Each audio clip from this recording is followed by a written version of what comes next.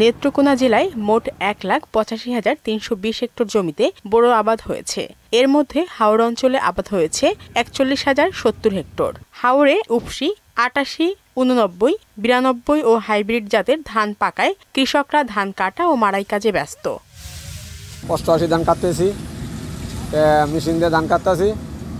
এই ধান এই বছর যে ফলন দিছে ছয় থেকে সাড়ে ছয় মন ধান হইতেছে ইনশাল্লাহ। ফসল মোটামুটি আল্লাহর মতো এবছর ভালো ফসল হয়েছে বসে নেই কৃষানীরাও তারাও ধান শুকিয়ে গোলায় তোলার কাজে ব্যস্ত। এবার সার ও সেচ কৃষকের অনুকূলে থাকায় ওয়ালটন ফ্রিজ কিনে অনেকের মতো আপনিও হয়ে যেতে পারেন মেলেনিয়া সেরা পণ্যের সেরা অফার। এবং কম্বাইন্ড হারভেস্টার মেশিনে দ্রুত ধান কাটায় খুশি তারা। ধানের ফসল ভালো হয়েছে বুঝুন? মোটামুটি ভালো হয়েছে আগে গেছে বাড়িতে গিয়া। ধান সিদ্ধ দিয়া ধান ফুয়াইতাছি কেয়ার ফুয়াইতাছি ধান তুলতাছি। সকাল থেকে ধান সিদ্ধ দিতাছি ধান রৈদ দিতাছি। মেশিনে ধান কাটায় কৃষকের খরচের পাশাপাশি শ্রমিক সংকট নেই বলে জানান এ কৃষি কর্মকর্তা।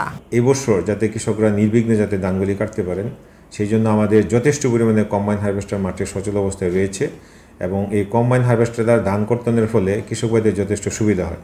একটি সুবিধা হলো যে তাদের প্রতি একর জমি থেকে ধান কাটার ফলে যে খরচ, এটি একেবারেই কম। হাওড়ে এবার দুই লাখ সত্তর হাজার পাঁচশো মেট্রিক টন ধান উৎপাদনের আশা করা হচ্ছে।